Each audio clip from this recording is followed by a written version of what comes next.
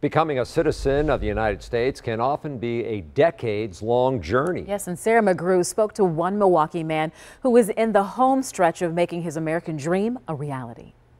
Eduardo Perea came to Milwaukee when he was 15 years old. But the decision to come wasn't an easy one, leaving his parents and rural farming community in Zacatecas, Mexico, a state right in the center of the country. Because we personally didn't even own a farm and there was no way for me to continue education, so I see no future in myself. He came without a visa. Now 47, Eduardo has lived in the Milwaukee area for 32 years undocumented. He's earned his GED, learned English, and now works in construction and home remodeling. And he started a family, which is the main reason when he applied for citizenship in the early 2000s, he didn't go through with it. I had two kids at the time, which was six and seven.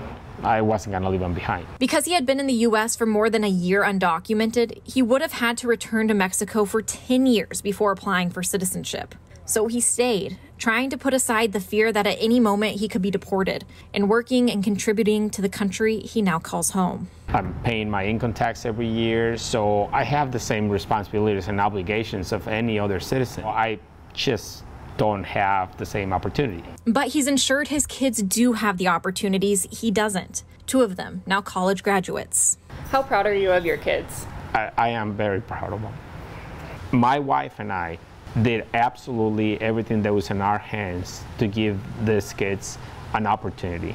And his oldest daughter now sponsoring Eduardo and his wife as they apply again for citizenship. It's been a four year process. It's a very long time, very expensive, and very uncertain.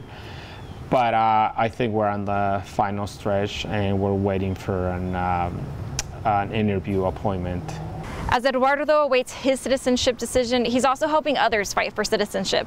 Tonight, he's headed to D.C. with Voces de la Frontera to advocate for a pathway to citizenship for undocumented essential workers who helped during the pandemic. Reporting in Milwaukee, Sarah McGrew, TMJ4 News.